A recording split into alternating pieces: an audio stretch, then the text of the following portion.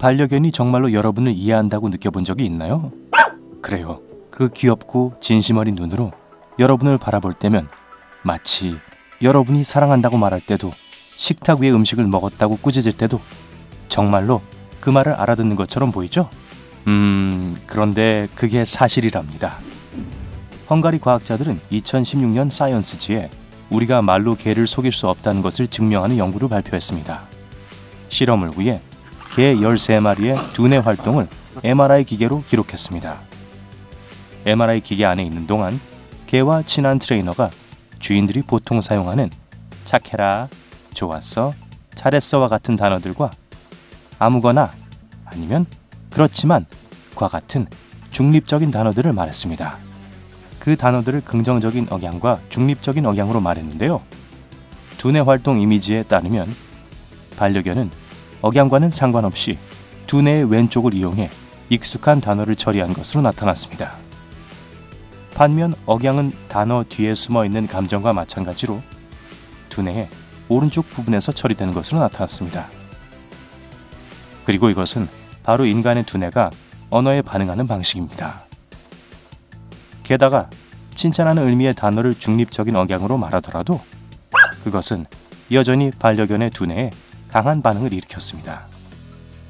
그렇다는 건 개가 그 단어들의 의미를 긍정적인 경험과 연관시켰다는 거겠죠.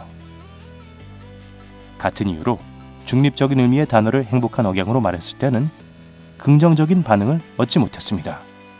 반려견 주인에게 이러한 결과는 어떤 의미일까요? 자, 그러니까 여러분이 아무리 밝은 어조로 얼굴에 미소를 띠면서 수의사에게 간다고 말하더라도 여러분의 강아지 친구가 디즈니랜드에 간다고 착각하는 일은 없을 거란 의미입니다.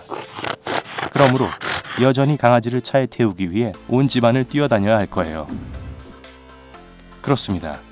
여러분의 네 발 달린 친구는 꼬리 흔드는 것 이상의 재능이 있어요. 미국의 몇몇 과학자들에게 물어보세요.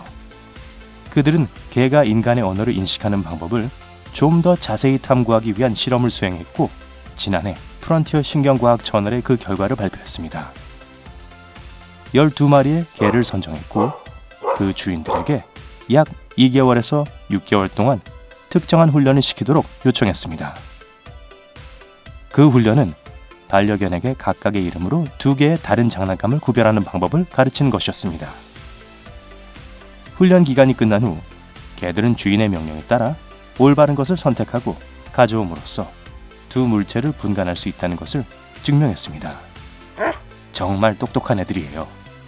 이를 통해 개가 사물과 연관지어 배운 단어에 대한 기초적인 이해는 하고 있다는 것이 증명되었습니다.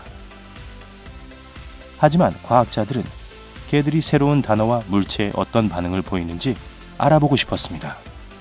그래서 반려견을 MRI 기계 안에 넣고 주인이 스캔 앞에 서 있도록 했습니다. 분간하도록 훈련을 받은 단어와 새롭게 추가된 단어를 모두 듣게 되죠. 예를 들어 주인은 돼지라는 단어를 여러 번 말한 다음 그에 상응하는 장난감을 보여주었습니다. 그러고 나서 주인은 만들어낸 단어 바보나 바드믹 같은 걸 말하면서 새로운 의미의 물건들을 보여줬습니다. 모자나 인형 같은 걸요. 이러한 테스트에 대한 개들의 반응을 비교한 후 연구원들은 두뇌의 어휘 차이 처리를 담당하는 특별한 영역이 있다는 결론을 내렸습니다. 즉, 비록 개가 단어의 정확한 의미를 완전히 파악하지는 못할지라도 인간의 언어가 개에게 그저 알아들을 수 없는 소리인 것은 아니란 뜻이죠. 이제 여러분은 반려견 친구를 똥강아지라고 부를 수 없을 거예요. 그 말을 이해할지도 모르니까요. 개가 인간과 친한 건 개가 인간의 언어를 이해할 수 있기 때문인 것만은 아닙니다. 우리처럼 수학을 할 수 있습니다. 솔직히 전 수학을 못해요. 반려견을 수학 수업에 데려간다고 해도 제 수학 시험을 도와줄 수는 없겠지만 개들에게도 숫자 감각 같은 것이 있습니다. 동물 인지에 발표된 2002년 연구는 강아지가 작은 수를 셀 수 있다는 것을 증명했습니다. 이 연구에서 연구원들은 개 한 마리에게 간식 한 조각이 담긴 그릇을 보여줬습니다.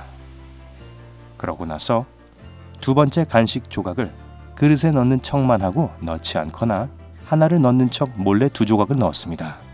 그 후 개에게 다시 그릇을 보여주자 마치 뭔가 앞뒤가 맞지 않는다는 듯 더 오랫동안 그릇을 응시했습니다. 마치 두 개의 간식이 있을 거라고 기대했는데 눈앞에 한 조각만 있다는 표정으로요. 그릇에 간식을 더 추가했을 때도 결과는 같았습니다. 두 개의 간식이 아닌 세 개의 간식이 있다는 사실을 혼란스러워했습니다. 제가 말했죠. 개를 속이는 건 힘들어요. 여러분은 틀림없이 퍼피 러브라는 말을 들어보셨을 거예요. 그런데 그런 말이 괜히 나온 게 아니라는 사실을 말씀드리고 싶네요. 왜냐하면 개들도 사람처럼 사랑에 빠질 수 있거든요. 동물행동학 교수인 마크 베코프 박사에 따르면 개들은 오래 지속되는 사랑을 할 수 있다고 합니다. 사랑에 빠진 개들은 상대와 떨어져 있는 것을 좋아하지 않으며 다시 만나게 되면 너무 기뻐합니다. 베코프 박사는 또한 대부분의 개는 새끼를 함께 기를 수 있는 하나의 짝 관계를 선호한다고 합니다. 게다가 우리의 털복숭이 친구는 자신의 짝과 유대감을 느낄 때 옥시토신의 수치도 증가합니다. 옥시토신은 애정 호르몬으로도 알려져 있는데요. 타인과 돈독한 관계가 됐을 때 우리 몸이 방출하는 호르몬과 같죠. 하지만 사랑이 있다면 슬픔도 있기 마련입니다. 그리고 베코프 박사가 지적했듯이 개들도 인간과 마찬가지로 거절을 당할 수 있습니다. 그런 일이 발생하면 헤어짐에 슬퍼하고 외로워합니다.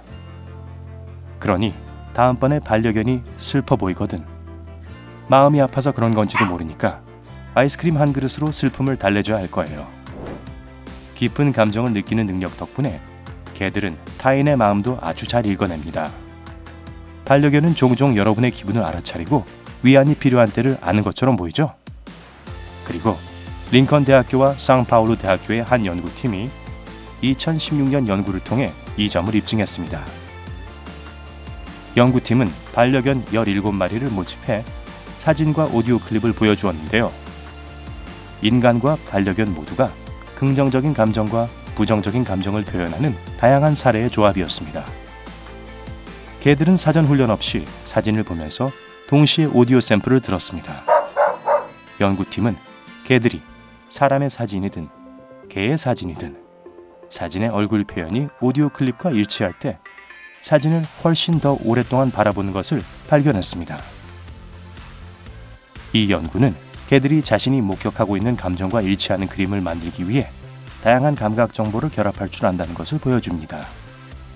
그래서 개들은 아주 민감하고 언제 주인에게 달려가 안기면 좋은지도 잘 알고 있는 거예요. 아시다시피 개는 훌륭한 친구입니다. 여러분이 TV를 보거나 밝은 면에서 새로운 비디오를 보는 동안 개들은 화면에도 관심을 기울일 겁니다. 하지만 대부분 우리처럼 TV에 집중하기보다는 TV를 그저 쳐다보는 경우가 많습니다. 그러니 반려견이 여러분이 가장 좋아하는 영화의 줄거리를 이해하고 있다고 기대하지 마세요. 하지만 센트럴 랭커셔 대학에서 진행된 연구는 반려견들이 특정 이미지와 영상을 선호한다는 것을 밝혀냈습니다. 그다지 놀랍지 않은 사실은 개들은 다른 개들을 보는 것을 좋아한다는 점입니다. 심지어 반려견을 위한 특별한 TV 채널도 있어요. 개들이 보는 색의 스펙트럼은 두 개, 파란색, 노란색 뿐이기 때문에 이 채널은 녹색이나 빨간색을 피합니다. 그들은 심지어 털복숭이 친구들이 세상을 보는 것과 같은 낮은 각도로 프로그램을 촬영하기도 합니다. 서로를 쫓아 뛰어다니는 개들, 주인과 함께 차 타기, 낮잠을 자고 집배원의 방문을 맞는 모습들을 보여줍니다. 이 채널의 제작자는 이런 쇼가 집에 혼자 남겨진 개들을 즐겁게 해주고 분리불안을 덜어준다고 주장합니다. 글쎄요. 여러분은 어떤지 모르지만 저는 우리 멍멍이가 외롭지 않도록 외출할 때 항상 TV를 켜놓습니다.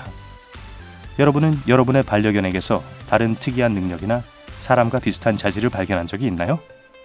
아래 댓글로 알려주세요. 이 비디오에 좋아요를 주고 친구들과 공유하고 구독을 클릭하여 삶의 밝은 면에 머무르세요.